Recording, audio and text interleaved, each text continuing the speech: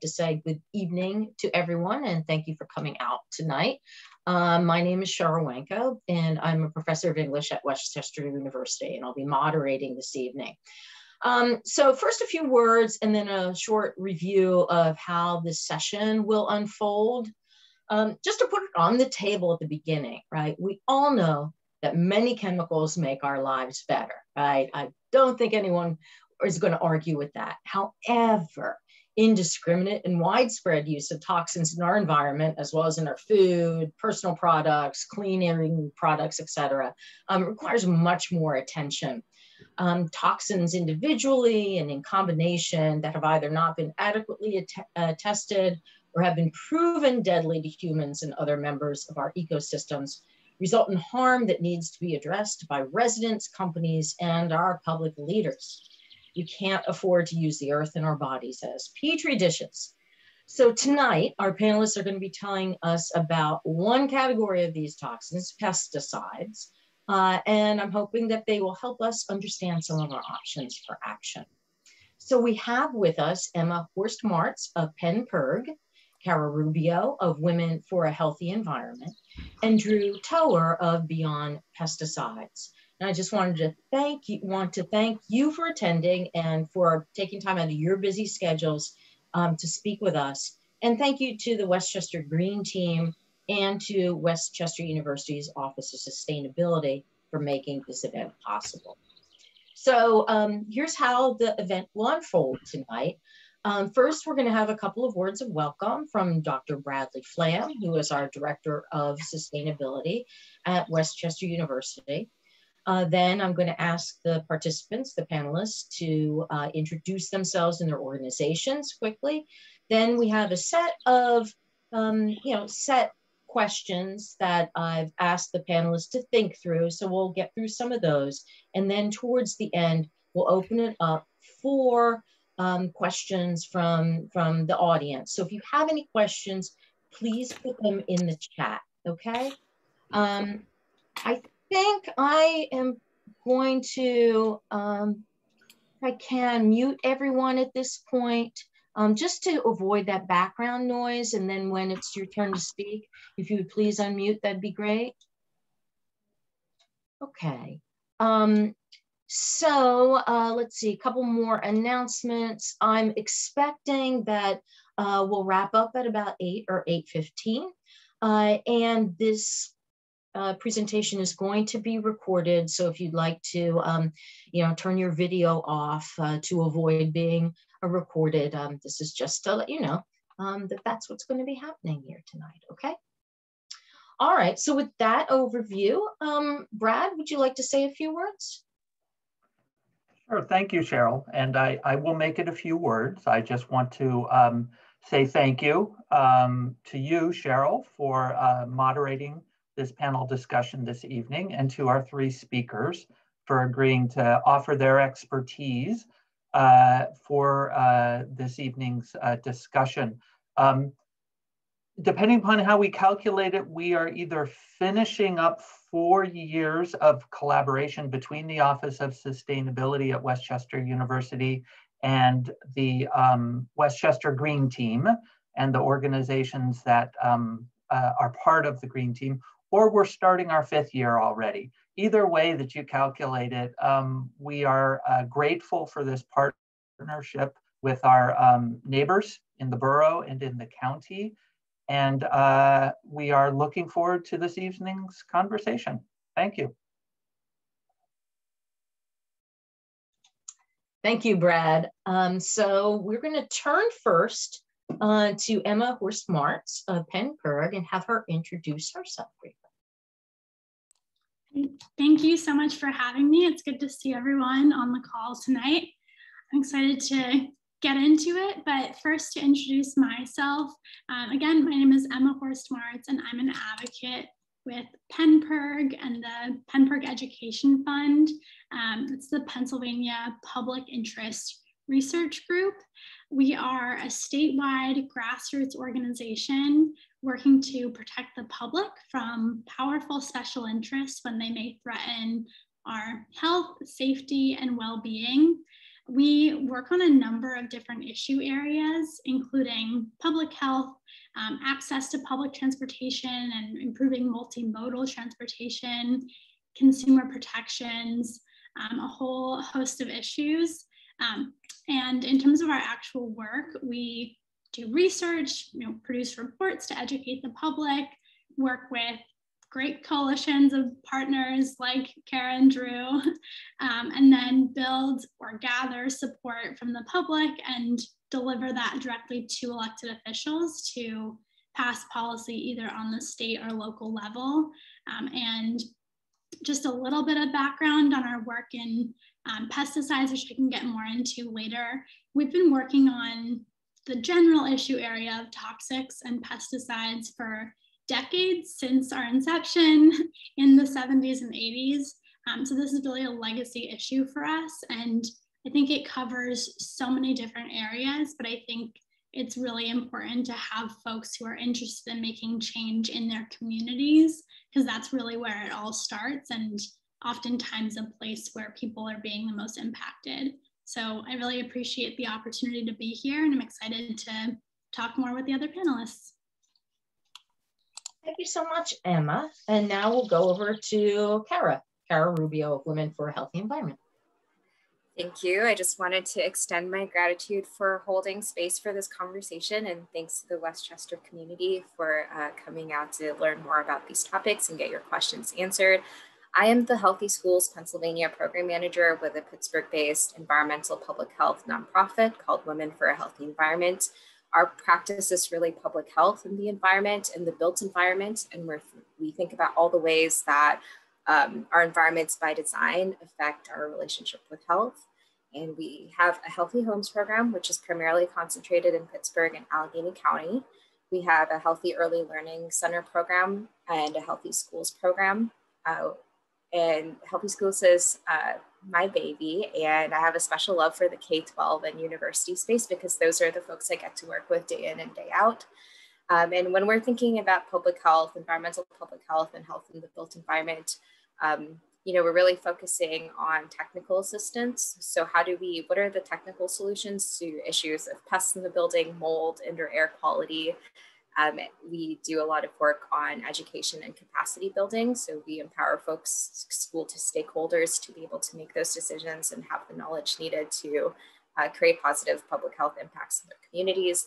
And we also have a health policy program um, that's pretty new to our organization, but that is really focused on systems change. And all of those components are really important when we're talking about pesticides and other chemical exposures. And so um, I hope to bring a public health perspective to this conversation and talk about uh, population health effects and how we can think through what the community impacts are um, and not just actions on an individual scale, but uh, how do we really move and shift power into systems change. Thanks a lot, Kara. Okay, and now we're going to move to Drew Toher. Great, yes. Hi all, thank you very much for having me. I am Drew Toher, the Community Resource and Policy Director at Beyond Pesticides. We are a national nonprofit dedicated to educating the public about the hazards of pesticides and encouraging and promoting alternatives to their use. A bit about me, um, I have a master's degree in environmental science and policy from George Mason University. Uh, before my time at Beyond Pesticides, I worked at an organic heirloom tomato farm uh, and a Mid-Atlantic Region Farm Club, where we work to connect local farmers with customers. Um, at Beyond Pesticides, where I've been for the last 10 years, uh, we take calls directly from the public uh, and we work with advocates, scientists, policymakers, and communities across the country to eliminate the use of toxic pesticides in favor of natural practices and least toxic products. Uh, over my time at Beyond Pesticides, we've worked with dozens of communities to pass local laws prohibiting toxic pesticide use. Much of this is focused on lawn and landscapes, but we also work on mosquito management, school pesticide use, invasive species, farm worker protection, organic integrity, pollinator protection, a whole range of other issues relating to pesticides. Um, and in general, you know, awareness of pesticide hazards is increasing. Uh, much of this is in part due to these high profile lawsuits around the carcinogenic herbicide glyphosate, uh, and there are growing concerns over the decline of pollinators uh, and other insects due to systemic pesticide use. Uh, many academics are calling this an insect apocalypse. Uh, pesticide use is also an, is an, issue of environmental justice. Uh, reports show that parks and playing fields uh, in black and brown communities are more likely to be sprayed with toxic pesticides, and landscape staff and farm workers are more likely to be from BIPOC communities. We, we're very pleased uh, that the city of Philadelphia recently tackled and addressed this issue of toxic pesticide use in public spaces uh, by passing a strong, a strong ban on certain lawn care pesticides. And I'm really just excited for a robust discussion tonight. And hopefully that'll encourage some of you folks in the audience uh, to work towards a similar policy in your community. And just really quickly, I'd just like to lay a quick foundation here because we often get comments or questions about this. What is a pesticide? Well, a pesticide is an umbrella term that includes herbicides, fungicides, rodenticides, all the biocides intended to mitigate, re repel, or kill a pest or weed. So if you hear folks using pesticide and herbicide interchangeably, it's usually okay. Every herbicide is also a pesticide, but not every pesticide is an herbicide. Hope that clears some things up, makes sense. Excited for the discussion. All right, great. Thank you for laying that groundwork. And it sounds like folks are coming from really interesting directions um, that will complement each other well over the course of this conversation. All right, so let's start out uh, with some basic questions. Um, and what, at this point, do you see as uh, the most dangerous pesticides now in use and, and why? So let's lay some more groundwork. Um, Emma, could you start us off with that? Yeah, I'd be happy to. And I don't come at this as a scientific expert. You know, I'm a political advocate. So I can say, you know, at PIRG, both PennPIRG in Pennsylvania and across the country with our national partner, US PIRG, for many years now, we have chosen to focus our advocacy efforts in banning the use of glyphosate that Drew just mentioned, which is the main ingredient in Roundup, um, the very popular weed killer made by Monsanto.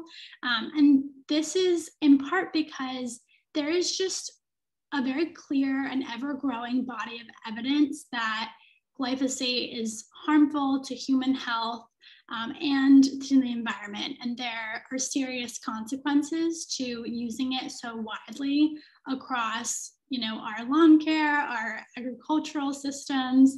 Um, it's one of the most heavily used chemicals in our country. Um, and it's having deleterious effects on our health and the environment. Um, it's also something that I think, as Drew mentioned, people are just more and more aware of as these lawsuits sort of pile up and they've become pretty high profile. Um, given all of the people who have unfortunately gotten sick with cancer over the years from being exposed to it. So I think it, there is good reason to focus on glyphosate in particular, um, but my fellow panelists can probably talk about some of the other chemicals that they've identified. Do you want to take this too?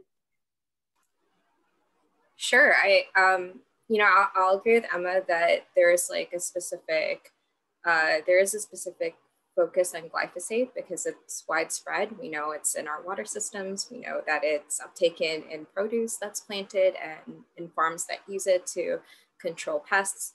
Um, and we know that it's stored in our bodies as well uh, from biomarker testing.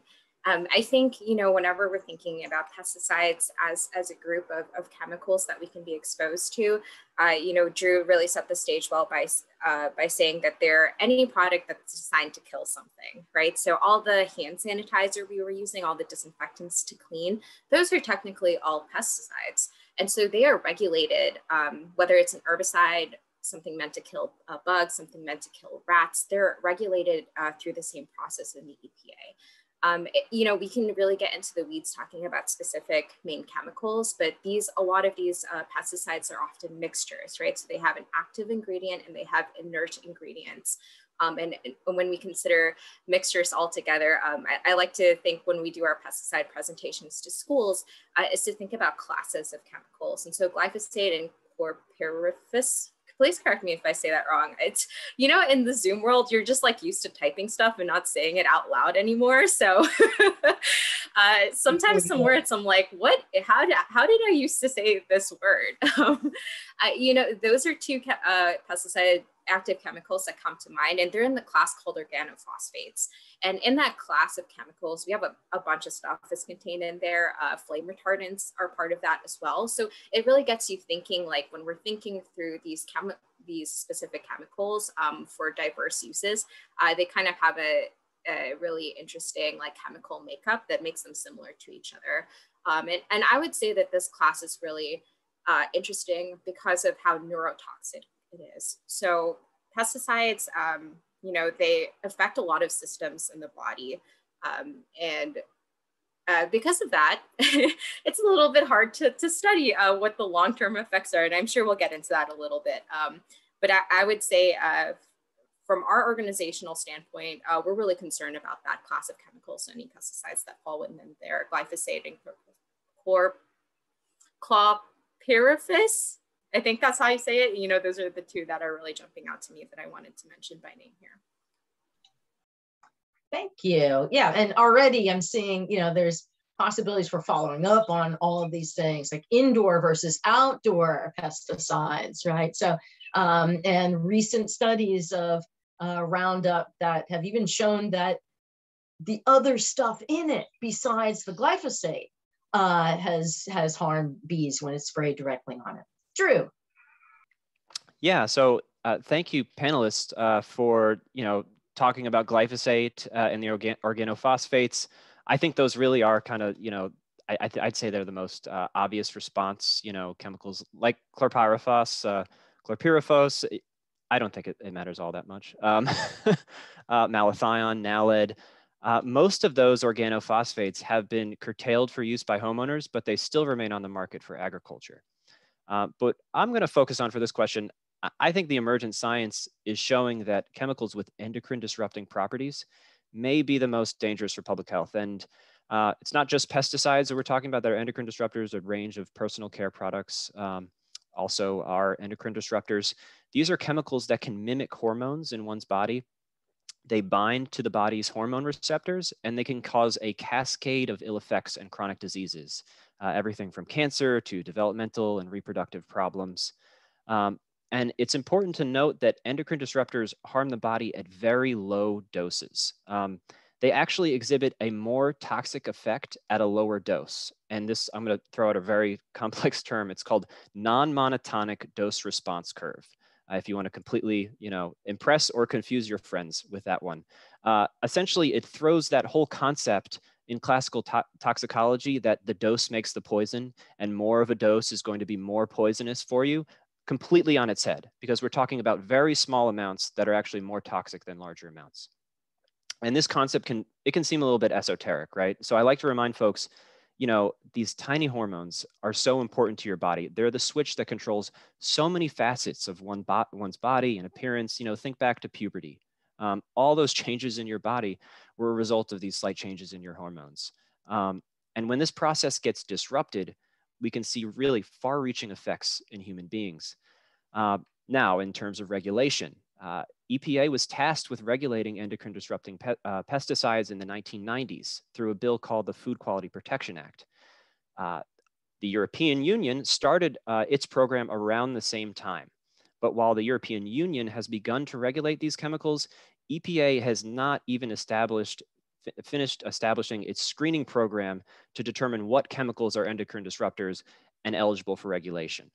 And so with that lack of oversight here in the US, uh, with these endocrine disrupting chemicals, that would lead me to say at, at this point, they are the, the most dangerous in terms of you know, potential long-term effects on public health.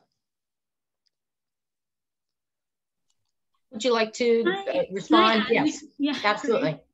Thanks.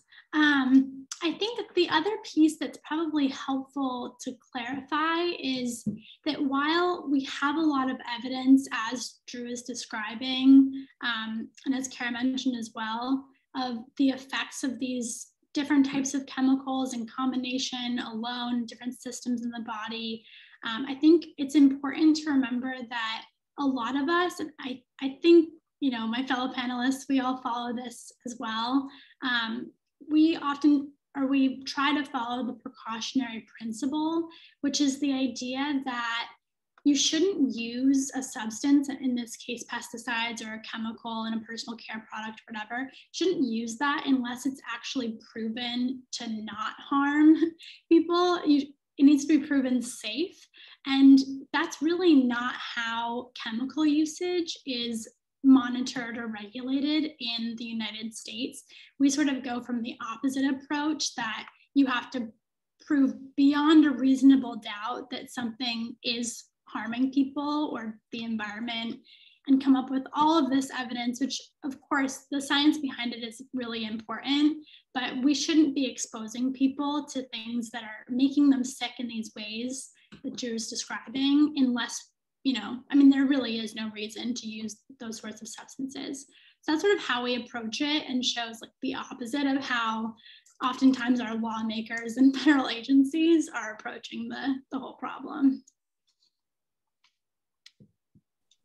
Yeah, um, uh, can you say, since we're kind of heading in that direction of bioaccumulation and body burdens, um, could you maybe talk a little bit about that? I know it wasn't on my list, um, but uh, it seems to be that's where we're heading. Um, so any, does anyone want to say something about that? Kara, go ahead. Yeah, um, that's a great like concept, right? When we're thinking about chemicals, because it's one thing if our body uptakes them or we, we are exposed to them in another way, but it's, it's a totally different uh, ball field when we're thinking about how the body stores those over time. Uh, and what's really interesting is uh, there, there's this huge national study where we collect a lot of biomarkers, basically like urine, hair, blood samples, saliva samples from a bunch of folks a really representative sample of those who live in our country called the NHANES study. Um, and pretty consistently what we find in every cohort are that the folks in our population who carry the most pesticides, uh, the highest pesticide load are children age 6 to 11. Uh, and that is a really fascinating insight. Uh, for one reason, those are school age kids, right? Those are not the typical under six that we think about when we're thinking of other legacy exposures like lead poisoning, um, which is another issue in our state, um, or when we're thinking about uh, these other early environmental concerns. Um, and, and so there is a biological mechanism for the way that these pesticides are stored in the body. Um, and I think it's really important when we think about exposure, uh, not just uh, how it enters the body. So for pesticides, we're thinking a lot of ingestion, uh, eating through produce, but also dermal absorption. Some pesticides can pass through the skin bar barrier and go straight into the blood. Um, we're also thinking about the time of the time in your life when you're exposed, right? So if you think about what's happening in the bodies of children ages six to 11, that's like pre-puberty stage, right? But there's there's a lot of growth happening, and this is where the the concepts that Drew was introducing about endocrine disrupting chemicals are really important. If a chemical looks like something that's naturally produced in your body, um, that is the biological mechanism for which that can be one of the ways, right, for which the body stores it over time. Um, and, and this would explain why we are seeing, seeing multi-system effects in children in particular, and some of the uh, health outcomes that we're seeing that are linked to uh, high pesticide exposure are um, really concerningly a lot of developmental disorders, right? So we're seeing changes not just in how brains are growing and bodies are growing, but in how children are behaving, um, the way they socialize with other people. So it's it's really specific parts of the brains that are being turned on and off, or that are not being allowed to develop in a healthy, natural way because these chemicals are being stored and, and blocking that natural process. Um, and, and when we think about how exposure is carried in a population, right? So pesticides are a widespread exposure as a, as a huge class, right? All of us probably have a little bit of pesticides in our blood um, or somewhere in our body. However, who's getting really sick because of that exposure, right? So that gets to the question of disparities. And disparities are when we see a difference in health outcomes and downstream causes. And when we're looking at who's getting really sick, who's going undiagnosed, whose kids are not getting early intervention services um, when they're showing up with these developmental delays. Uh, you know, they tend to be the same populations. Uh, in, in our state, we know that, uh, you know, when we're even we're just looking at asthma or other uh, childhood health outcomes like that on the little data that we collect, we know that the burden is not carried equally, even though the exposure might be um, widespread. The who's actually getting sick are children of color, uh, low lower income families, families in rural areas close to agricultural places. And uh, so while we're working on these issues, we need to think about what does intervention and, and what does policy intervention look like to protect those most vulnerable. Um, and that happens in, in, the upstream form of things. Sure yeah, I would I would just um, you know to add to that all, all excellent points. You know, uh, our regulatory process at EPA does not adequately account for disproportionate risk, disproportionate risk to minority communities, disproportionate risk to children, uh, sensitive populations, those that are immunocompromised. Uh, they they simply don't account for them. EPA's pesticide registration process, um, the kind of analog that they look at for a human being is a 25 year old healthy adult male. Um, they are not focused on sensitive populations. So that's something that we've been really trying to interject uh, into reform measures is, uh, you know, to really start start looking at that, um, those disproportionate risks. And I'll also kind of uh, uh piggyback on uh, that whole concept of, um, you know, early life exposures. It's incredibly um, important uh, to avoid these early life exposures. And uh, scientists call these critical windows of exposure, and they happen during during pregnancy, during a child's first year of life, uh, during puberty, and it's you know it's really a time at which um, and uh, the, the genetics are are going to turn on and off right? And uh, you know there's a, a an emerging uh, amount of science looking at uh, metagenetics and looking at the switches that turn on and off genes. And and environmental exposure during that critical window uh, can actually cause you know turn on or off a, a specific gene and result in you know problems 10 20 30 years down the road um, chronic health effects. And the last thing i'll say is that there have been studies that have found in terms of body burden you know switching from a conventional uh, or uh, we don't we tried to get away from that word conventional because we think organic farming is conventional. Um, chemical uh, you know agriculture if uh, switching from that to an organic diet actually reduces uh, the levels of uh, pesticide that are found in one's urine so you can actually reduce your pesticide exposure by switching to organic foods. Okay, that gives me a good segue because I'd like to move us outside.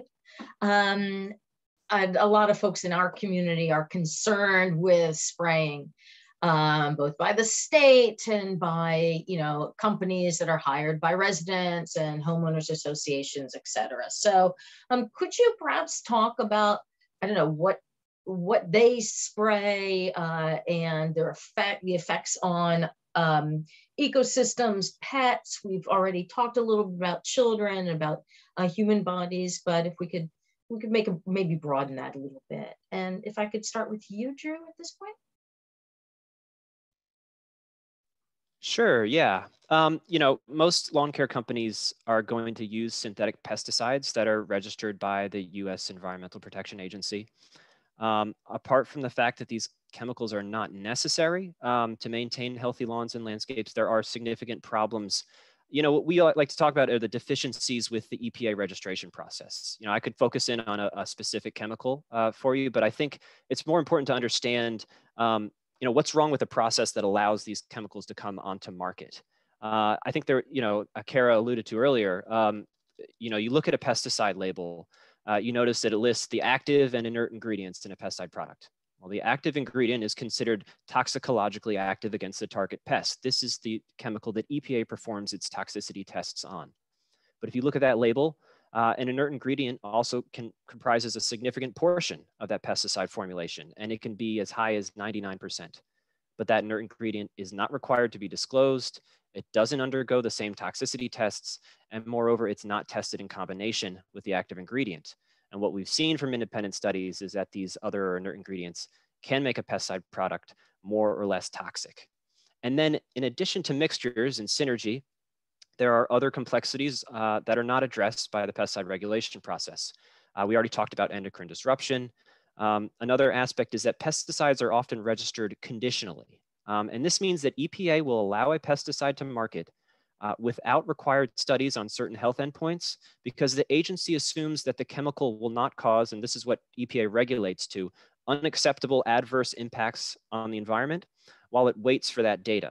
But there have been many instances over the years where the data was that EPA was waiting on ends up causing a serious environmental problem. Uh, the agency also assumes that there will be 100% label compliance uh, with a pesticide, despite evidence that many homeowners do not read the label before, before applying a toxic pesticide. Uh, we, we talked about children and uh, the elderly, other sensitive populations not being provided additional, additional protections. And the agency also discounts restrictions that have been enacted in other countries. Uh, they discount the viability of alternatives uh, that are on the market that could replace the toxic chemical in question. And lastly, all of the data uh, that, that, that the agency reviews, that EPA reviews, is produced and conducted by the manufacturer themselves. And this is the basis, unfortunately, for pesticide registrations that are then approved by the Pennsylvania Department of Agriculture. Um, beyond pesticides, uh, when we you know, uh, work in communities, our model policy prohibits the use of all of these products. Uh, instead, our, our, criteria allows for only products that are certified organic uh, or considered minimum risk by EPA. And these are the minimum risk products are exempt from the EPA registration process because they are of such a low toxicity. They're not required to go through that. And we find these to be the least toxic, yet still effective products on the market. But even these, we want to encourage folks to use as a last resort. So it's, I'll stop there. yeah, and I'd love to pick up from where Drew left off, because I think that's a really helpful starting place, sort of lay the groundwork for what the pesticide landscape or system sort of looks like in Pennsylvania. Um, so if you think about the sort of levels or the, the areas where these chemicals can be used, of course, we have agricultural use on farms.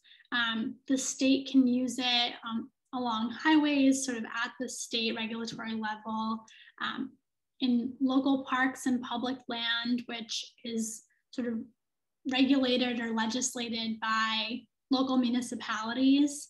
Um, private property and homes, of course, people spraying stuff on their own lawns or you know, a property owner. Um, and then schools is sort of another category. And I'll leave that to Kara because that's her area of expertise. Um, but there's sort of all these different layers and there are oftentimes different rules about what can be used in these different places.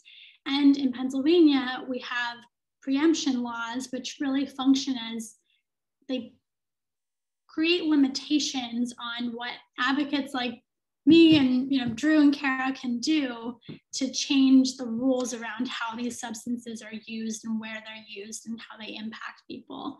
So here in Pennsylvania, um, we have preemption laws that prevent us legislating, like banning the use of toxic pesticides or chemicals on private property.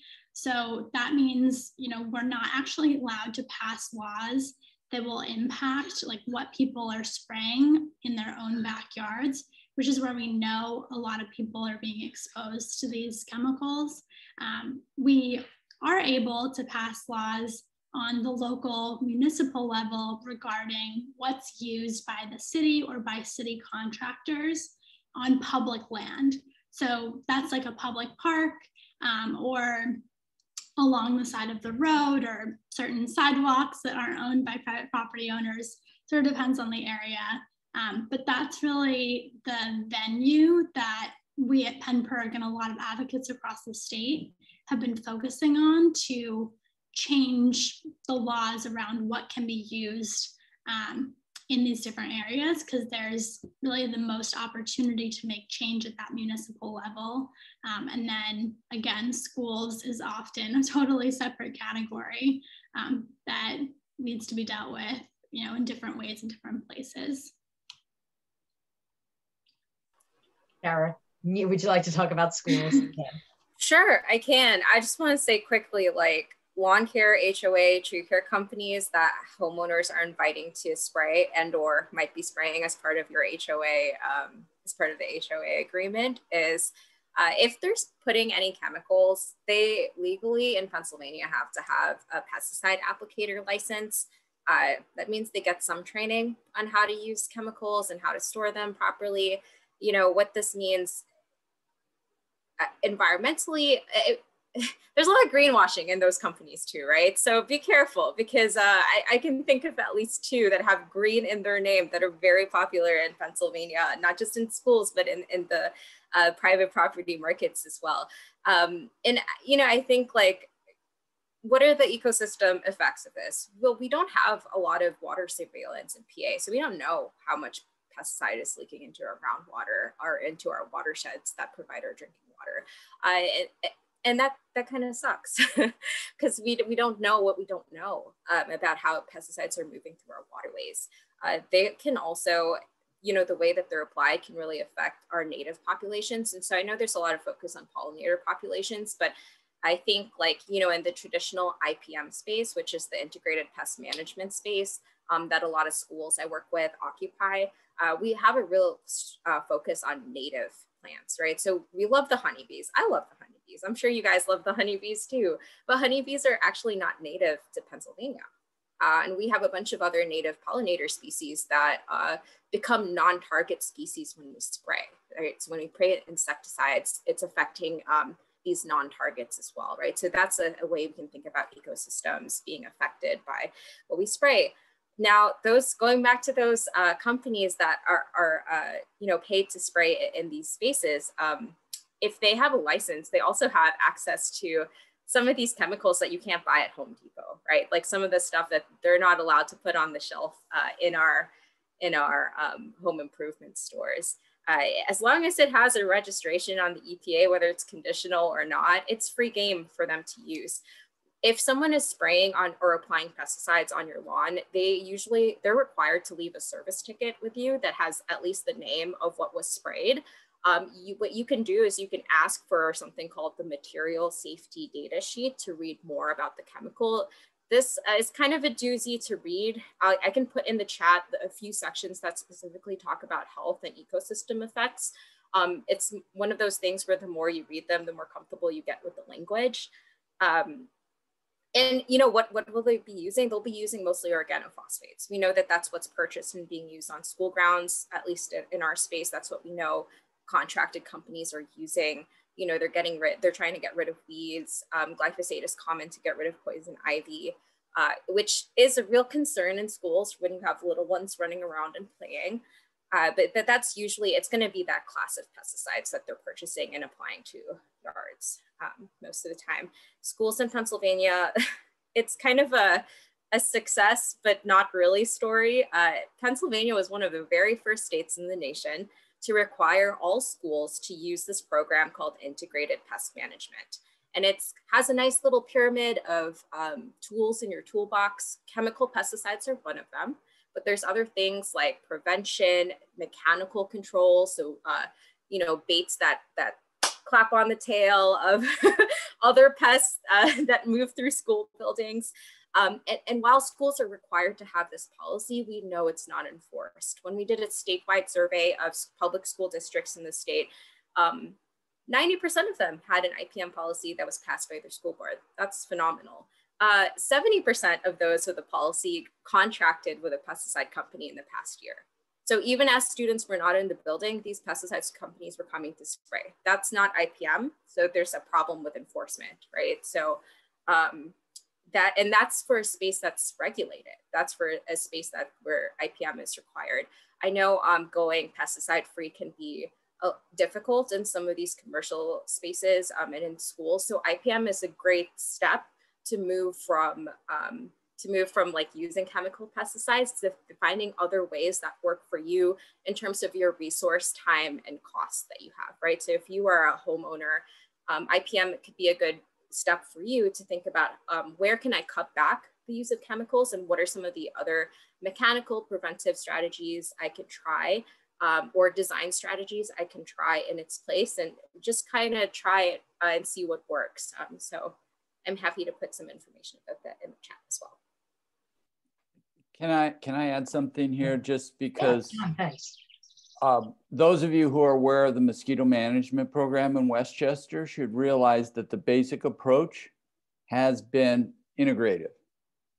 The, the borough wanted to spray aerial fogging and the, the do not spray me group went about taking two different approaches. One was trying to limit larval habitats, so mechanical removal of standing water, and then used a very specific natural insecticide, BTI, in the storm sewers to try to control successful larval uh, uh, uh, growth in the storm sewers, which you can't get to uh, and are, are quite common in terms of holding standing water.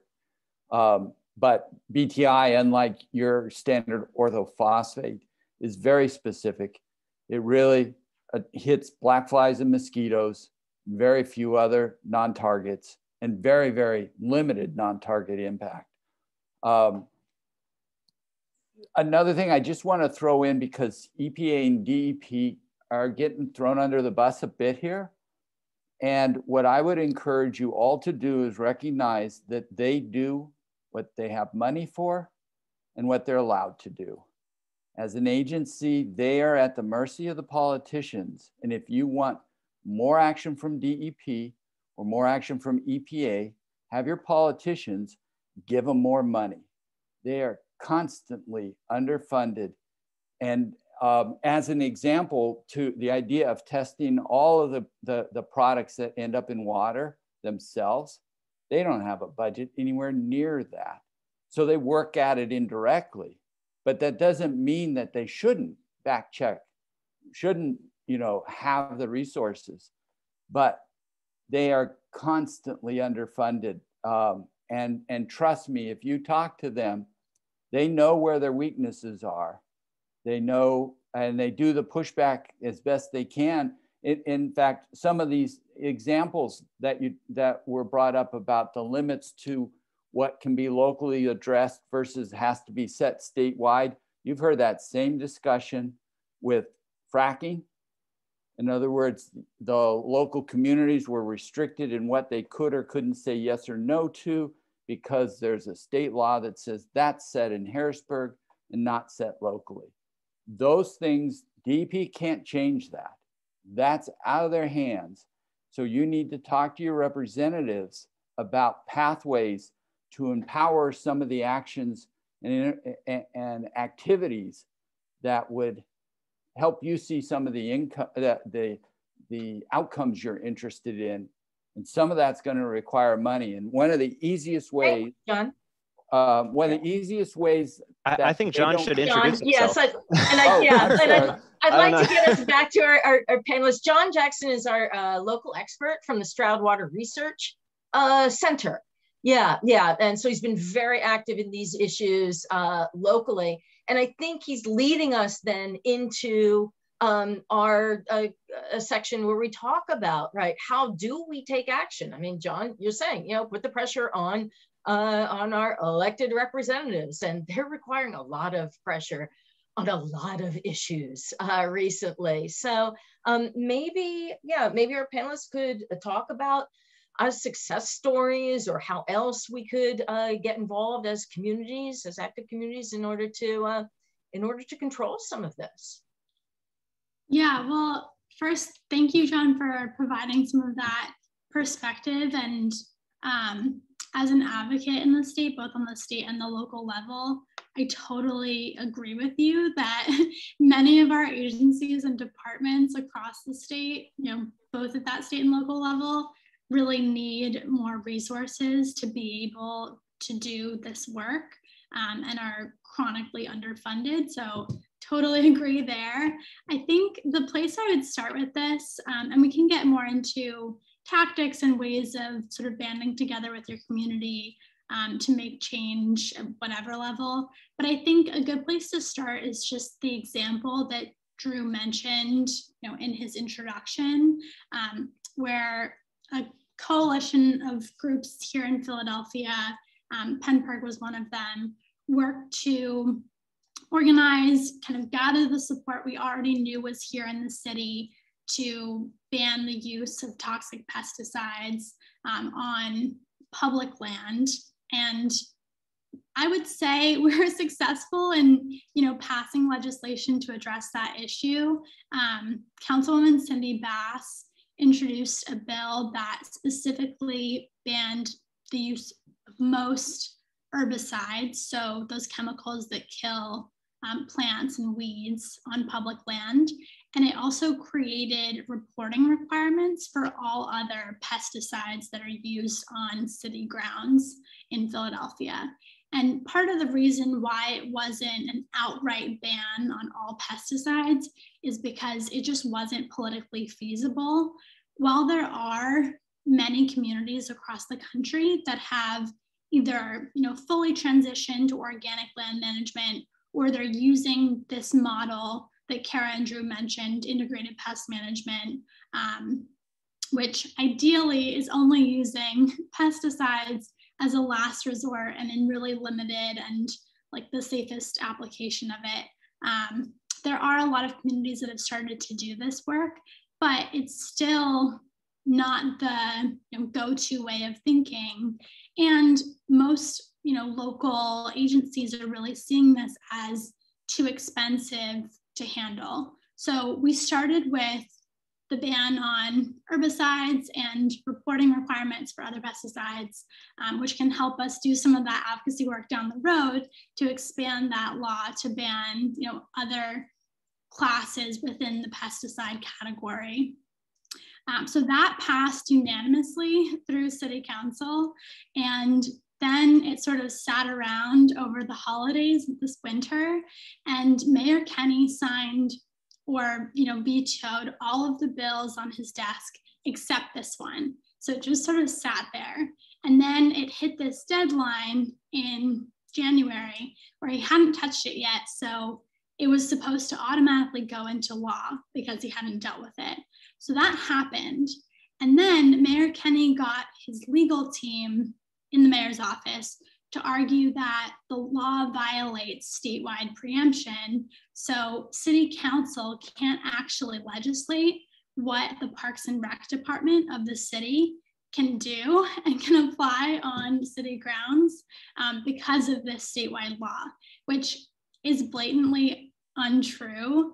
And what we think happened is, you know, the Parks and Rec department was scared of having to implement this because they, you know, aren't really given the resources to do it, um, which of course we advocated in part of the budget process to increase their budget to be able to do integrated pest management or organic management. Um, so that's sort of the status right now. And of course, we're running a campaign to, you know, gather that public support again, deliver it to the mayor, deliver it to the city council people who originally voted for the law to you know really pressure them at this point it's a pressure campaign to actually stick to their word and implement it. Um, and there have been a lot of great groups and other cities that have offered to help do free education and work with our parks and rec department in philadelphia to learn how to implement this on the budget that they have. Um, but it's still going to take some more work to, to actually get it implemented so that's just one example of some of the dynamics that can play out here. Great. Yeah. Yeah. A lot we can learn from from that example. I do want to bring this part of the program to close in a few minutes, but I also want to make sure that Drew and Kara give us their um, advice for how to push back on some of this, especially for for residents who are, you know, who are dealing with with spraying. Yeah, I can, I can, uh, I can go and I can give a, a success story. Um, but first, I'll say, you know, yes, the the issue with Philly is is is very tough um, right now, and you know we have offered. Um, we work. Uh, one of our board members um, is a nationally renowned uh, organic land uh, organic land care expert. We have offered to uh, work with the Philly Parks and Rec department to help train them on organic practices. Um, and also just briefly to respond to um, what John mentioned, yeah, EPA is absolutely chronically underfunded. Uh, and the rank and file do care about this work. Um, we, we know that. Uh, and often, you know, a lot of the problems that comes out of the Office of Pesticide Programs at EPA is from the political appointees. Um, you know, there is bureaucratic inertia uh, in some way, uh, but yeah, a lot of the problem is, is certainly from uh, the political appointees, and, and that gets back to uh, pressuring the politicians, absolutely. Uh, so I'm going to talk about um, New York City.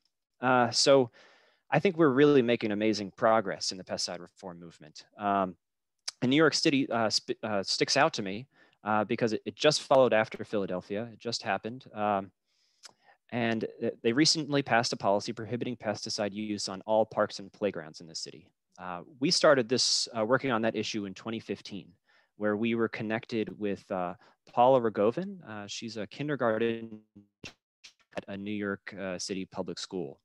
And her focus was on getting kids engaged in making change early. Um, so after teaching her students uh, kind of about the dangers of pesticides, they, they wanted to do something and they eventually they all of this was their decision uh, essentially. They decided uh, they wanted to, to take on pesticide use and so they actually wrote a play uh, and they performed it for a local city council member uh, that, that came in to, to say hello to the class. And after he, uh, watching the play they invited the kids to city hall. And so ms rogovin brought the kids down to city hall and they sang uh, part of their play to lawmakers. And that made the local news. Of course, it was super cute. Um, I'm sure you can find the video online, uh, but nothing happened that year or the next uh, or the next, uh, and despite constant pushing uh, from behind the scenes. Uh, but in comes another group uh, based in New York City, the Black Institute. Um, that group, I, I, alluded to their report earlier, they published a report, and this was specifically focused on New York City based on public records request uh, looking at uh, all the areas where toxic pesticides were sprayed in the city. And of course, they found uh, black and brown communities are where most glyphosate use is, is occurring and toxic pesticide use is occurring. Uh, and you know, it's worth mentioning, you know, public parks are often the only place where um, in a lot of these communities where they can take their families, they can relax, they can enjoy outside. Uh, and the report found that disproportionately these are sprayed. Um, and it's very likely the case in other US cities. And so, uh, you know, ultimately, uh, you, you, know, those kids that sang, sang to the city council, they never gave up their fight. Uh, they stuck with the work for years uh, through elementary school and middle school and between strong environmental justice work of the Black Institute, dogged efforts uh, from Ms. Rogovin and her class, and you know, sure, uh, beyond pesticides, other local policy advocates like grassroots environmental education. They provided a lot of technical, we provide technical scientific support uh, and policy concepts early on. We were, we were able to break through a seven year delay uh, to pass an ordinance on Earth Day this year. And strongly encourage you all, uh, there's a New York Times article uh, uh, that highlights uh, these, these young advocates. they interview and highlight them and really an amazing, amazing victory at such a young age and really encouraging about what they're going to be able to accomplish in the future. And nothing warms the heart of an English professor as much as knowing that drama has made an, an impact. So that's just wonderful, the power of art. But it takes Absolutely. You know, it takes all of us, right? And from all fields in order to make impacts here. Absolutely. Kara, do you want to close us out with a couple of words or? Yes. Uh, I just want to say if you have are part of an HOA, uh, you know that if you can make a change there it will matter. And it will matter because homeowners are uh, they actually apply more pesticides per pound per acre um, than any other group. And that's largely because uh, we're not trained right? We buy the product we read, kind of read the label and then we apply it. Um, and uh, that is you know could be an opportunity for community education but it's also the reality of of um, it's a place where we can have a big impact, right? So what can you do at your HOA? You can ask your HOA to adopt IPM as a step towards banning uh, certain types of pesticides and, and so that when they contract out with a company, they're looking for someone who knows how to practice that, right? Who actually has the certification, who's committed to doing that, and not just greenwashing the chemicals that they're using. Um, another thing you can do is to push for an approved use of pesticides. So, what are the really specific weeds that are uh, that are popping up in your HOA that really need addressed that are community concerns, things like poison ivy, right? Things that are uh, you know have a real uh, that are really risky. And then what are some things that you can live with? Um, dandelions can be uh, quite quite lovely sometimes. So. Uh, but that's a good conversation to have there, right? So what are what are the weeds that we can, uh, what are the pests we can live with, and what are the pests that we need to deal with, right? So that that's a good space to act. I think you know uh, working in schools, I host IPM trainings every year.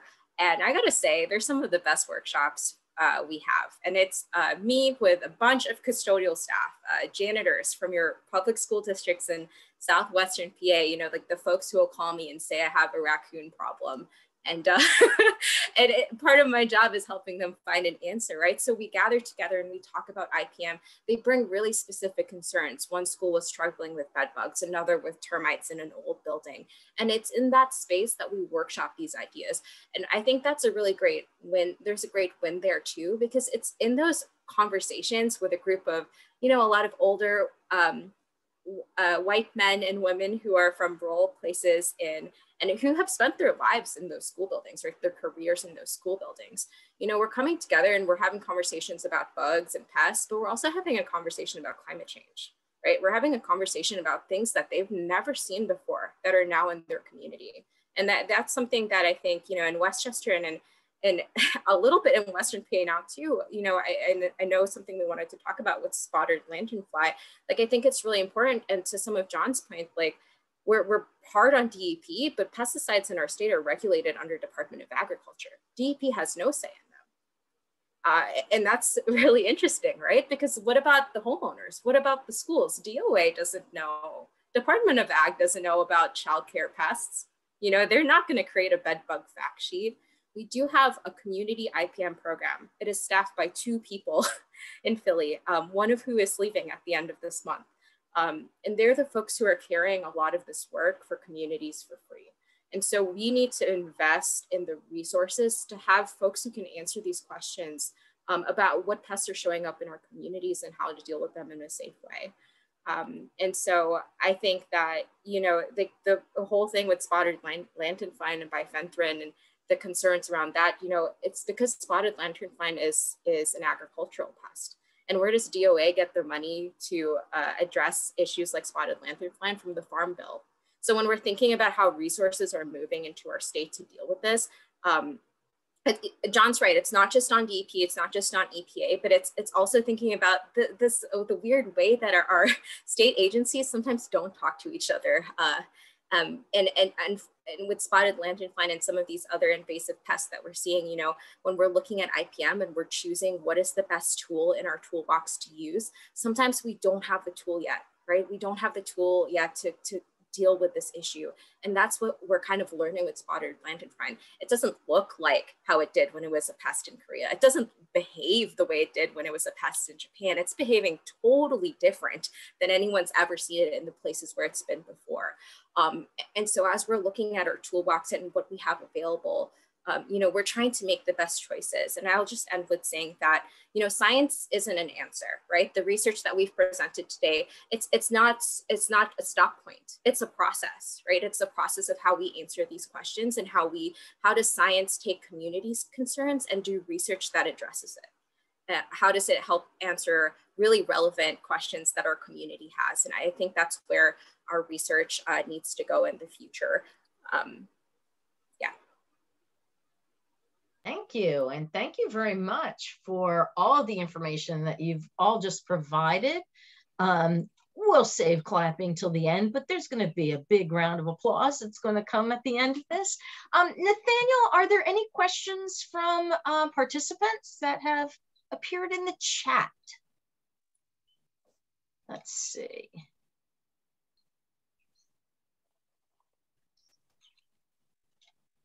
Oh, you are muted if you are saying. I have a question. Can. Okay, yeah, why don't we yeah. go ahead and then, okay. yeah, we'll, I'll okay, I'm, I'm on the, I'm on the uh, West Pikeland um, EAC. And this is a, a topic that we just brought up at our last meeting to begin addressing. So it seems overwhelming. You got the state, you have the township, and you have the residents. So, Drew, what would you say is step number one to get started? This is in regards to lanternfly?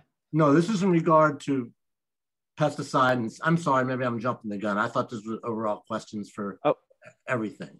This oh, is, yeah, just yeah, how yeah. to ban pesticides. Right. Uh, sure, sure, right. absolutely. So, we always encourage advocates um, to approach this issue in good faith. You got to assume that all stakeholders on this issue surrounding pesticide use they want to be responsible. They want to be protective of human health and the environment. Um, local officials, pesticide operators, can you know, chemical landscapers, not bad people. They're just like every you know person in this country. They're working hard to provide for their families and protect their community. Um, so with local advocacy, our focus is definitely on education and not castigation. We want to discuss the negative impacts of pesticides, uh, but you know, put your efforts into you know telling telling these stories um, of folks in your community. Maybe they've been injured by pesticide use, or maybe they've got you know like a fun drama piece that they want to talk about uh, with pesticides.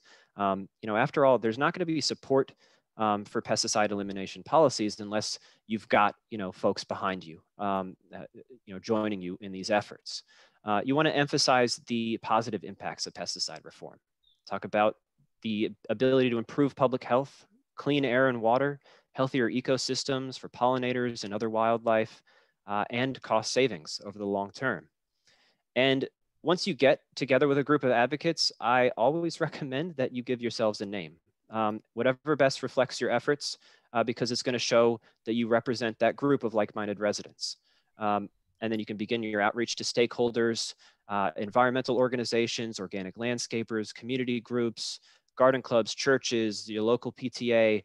Um, definitely connect with the great folks at Toxic Free Philly uh, who did amazing work putting together um, an outstanding uh, cadre of experts uh, to present to the city council. And you know cultivate those professionals um, local doctors nurses ecologists other practitioners.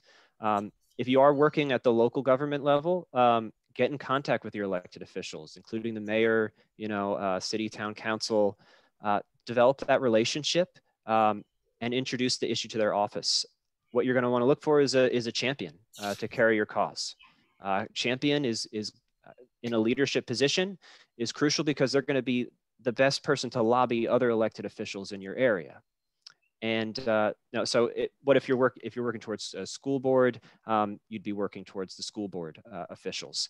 Um, an HOA, you're going to be working towards the board of directors. You want to kind of power map and who's who's in charge of pesticide use um, in your community. And uh, what you're going to want to work towards is getting that formal, getting a formal hearing on, on pesticide use. If you can't get one right away, then you need to start thinking about how to apply external pressure. Um, maybe that's tabling at community events, maybe that's starting a petition or a, a phone call campaign. Um, letters to the editor can also be effective. And then once you get that hearing, make sure that all those folks maybe that sign your petition, you're in contact with them over email, uh, get them to show up to that hearing, whether it's on Zoom or in person. Um, because the show of support from residents is going to be really important to this. And uh, yeah, once, yeah, uh, after you get that, of course, feel free to reach out to us at any part of the policymaking process. Uh, we do have model policies, as I mentioned earlier, and, and can help with a lot of the kind of technical and scientific details and background. Just to follow up on that, yeah. Um, as far as educating the public and educating our township supervisors, do you have a list of the best things that we should read that are current and scientific? Yeah, you can go on our website. Okay, all right. uh, beyondpesticides.org and check out our um, non-toxic lawns and landscapes page. There's a there's a um, a subsection under there called Tools for Change, and that's uh, really focused for advocates like yourself. Okay, that's great. Thank you. Thank you. Are, I think, Drew, could um, I could I ask a yeah. question directly to Drew about that one? Is is there any a model ordinance or something like that that he could look for on your website? Yep. If you go to that Tools for Change page, you will definitely see our model ordinance. Uh, we also have a map of U.S. pesticide reform policies where we list over 150 uh, policies. Uh, you can uh, you and if you go on that map and you type in organic methods, you'll get the ones that we would consider to be models throughout the country. Um, and yeah, you can, uh, that map is great because you can click on pesticide policies throughout the country and it'll, it'll pull up um, the actual policy so you can read it and review it. Uh, Emma, you wanted also to address that because there are two other questions I'm seeing in the chat at this point. Yeah, well, I'll just point out, I think Kara put a great, um, you know, model ordinance in the chat as well. And Beyond Pesticides whole website has a ton of useful resources. Um, I think Drew just laid out a great campaign plan. So that's awesome. I would add, um, and I think this is something that even advocates like myself sometimes have to be reminded of that sometimes the most important first step is just to ask for what you want. Um, and I would say with pesticides in particular, that legislative issue, a really great first step is figuring out, if you can, what is actually being used, like defining the scope of the problem and figuring out what it looks like in your community, which looks different in different places. Like here in Philadelphia, we didn't have reporting requirements on what pesticides were being used in the city. So, you know, we had to file a right to know request. And um, in one case, it was completed and we, you know, were able to get some information from it. In another case, the city didn't provide that information. So you might have to do a little bit of digging. That's a good place to start to figure out what it really looks like before you start. And then um, I would say, you know, get in contact with whoever your target is or where you think the change can be made and ask them to make the change. And then they probably won't right away. I would launch into the campaign plan that Drew just laid out. Okay, we're going to answer the two questions that are in the chat and then we're going to call it a night. Now, Nathaniel, it looked like you have a question that you wanted to ask. Well, thank you, Cheryl. Yes, particularly, I think um, for for Kara, state law requires any spraying on public school grounds to be announced in advance so that staff, children, parents can take measures if they wish. That applies only to public schools. Does not apply to private schools, religious schools, charter schools, daycares, and of course we know that in daycares the kids are probably particularly susceptible. Is there any movement to try to amend the state law to include all kinds of schools and the advance warning that's required? Yes, um, there there is, uh, and we have worked with some uh, legislators in Harrisburg um, to begin those questions. I think you know at we when our health policy strategy is pretty simple. Um, it's about removing barriers and increasing benefits. So I, I think the piece that we are trying to figure out is um, what what are the what are the alternatives, right? What are the pests that we're seeing in that space and, and how do we troubleshoot them? And who's going to provide those resources to childcares and schools? Because, you know, right now, my schools feel comfortable calling me with these questions and knowing that they'll get an answer in, you know, within the week. I can't say that there's someone else who provides that same type of service on the eastern or even central part of the state. Um, it's not that there aren't people who can't answer those questions. I think the Penn State extensions, I even think 4-H programs um, can be a lot of uh, places with shared knowledge. Um, but I, I, think that um, there are some barriers there, right, about what what it takes to invest in doing more mechanical uh, pest prevention, right? So that includes a lot more mowing more regularly, uh, which will mean you have to hire more custodial or groundskeeping staff, which unfortunately a lot of our school districts don't have the budget for. So what does, um, you know, we've explored here in Southwestern PA, like what does even sharing those large equipment, uh, lar- large equipment or even sharing staff for those types of programs what does that look like? So where if we took the pesticide contract money how much landscaping services could we get in return right? So we're doing a little bit of cost benefit analysis for our schools here based on the contracts we're able to see.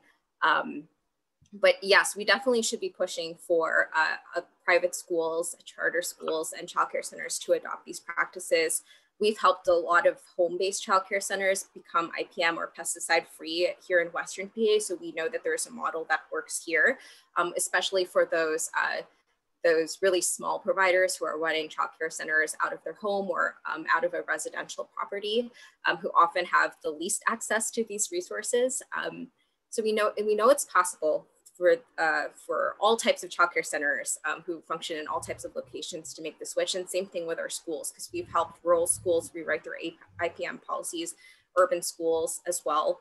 Um, so know it, we know it's possible to re reduce those barriers. Uh, we just, it's about finding the political champion right now, right? Who, who will take it up and, and introduce it as a, either a school code amendment or another place, but um, well, definitely something we can just just to clarify, I mean, I, I, get everything you say, but this this state law is only about notification. can anybody argue that children in charter schools or Catholic schools should not be notified in advance if pesticides are going to be applied? Yeah, no, I mean that, that it does seem like an easy change to just include them.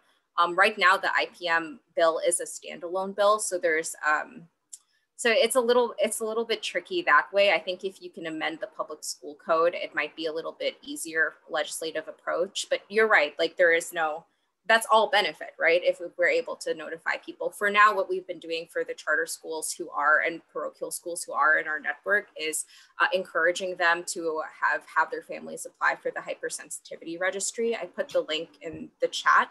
This is a place if you're an individual or a family you can apply to be on this registry. So anytime anyone is spraying within 500 feet of the address that you list there, you can put your school, your child's school on there too as an address. You can put your child's daycare there as an address. You can put your residential home there as an address. You will be required to receive notice whether it's uh, another homeowner who's having a, someone apply pesticides, whether it's a school nearby who's having someone apply pesticides, whether you live near a major highway and they're spraying along the side, if they're within that range and you're registered on this hypersensitivity registry, you can get notice. So it's a sneaky way to get more information about what's being sprayed close to you as well, without having to file a right to know request or Freedom of Information Act request. All right, and then just quickly, and I'm going to keep it to one minute.